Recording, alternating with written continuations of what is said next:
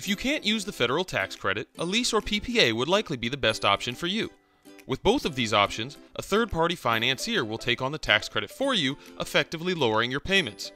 These options are typically $0 up front. The financier does own the system and is responsible for all maintenance.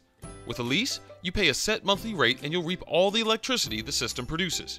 With a PPA, you'll pay a cents per kilowatt hour rate for exactly what the system produces. These options are very comparable, but the PPA bill may change month to month while the lease payments will be constant. Both of these options may have what is called an escalator, which will give you a much lower payments day one, but will have your payments increase each year by a specific percent. In this case study, we have an old utility bill of $250.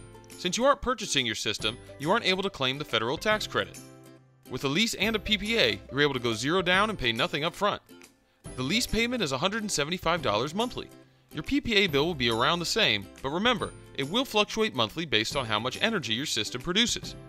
Since there is no longer a utility bill, that's all you would need to pay each month. That leaves you with day one savings.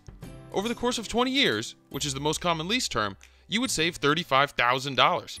So even if you can't claim the tax credit, solar can still be a great option for you.